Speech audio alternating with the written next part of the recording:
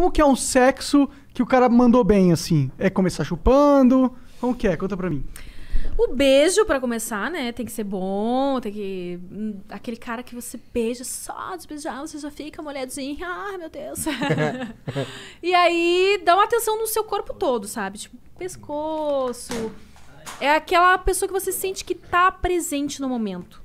Que não tá ansioso já querendo ir pros finalmente. Que ele vai curtir a sua presença, que ele vai curtir todas as sensações ali, corporais e tal. E, claro, sexo oral é bem importante. É bem chato aquele cara que ele só quer ser chupado e não, né, nada de. Você vai lá, faz.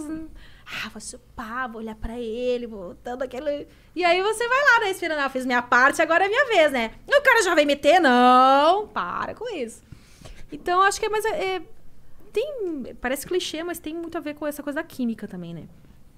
É, nessa primeira vez pra impressionar, é legal fazer tudo isso. O beijo, o beijinho no pescoço, vai descendo, aproveita o corpo todo e tal, capricha do oral. E só que a pessoa com quem você tem química, você vai ver que até uma rapidinha depois de um tempo de intimidade, até uma rapidinha vai ser bom, sabe? Ou papai Mas a mulher mamãe, curte uma lá. rapidinha. Porque a rapidinha, em teoria, é difícil Depois de... que você já tem uma intimidade, Mas tem mesmo- dias que você.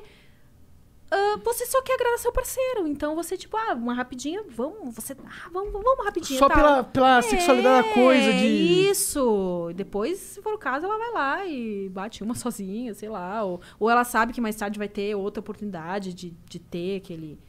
Eu acho que é bem variável nesse sentido. A gente, quando você tem um- uma parceria fixa, você pode fazer. Não precisa ser sempre aquele ritual, né? Até acho que não é desejável ser sempre aquela. Porque banaliza É, também, mas né? Você, você sabe como começa, você sabe como termina. Então aí, como você já tá há muito tempo com a pessoa, você tem essa liberdade de fazer coisas diferentes. Ah, hoje vai ser só uma rapidinha. Ah, sei lá, às vezes a gente tá cansada, a gente tá excitada, mas tá cansada pra chegar num orgasmo, assim, porque o orgasmo, né, dá um certo Dá um trabalho, trabalhinho, assim, né, pra é. mulher, né? Então.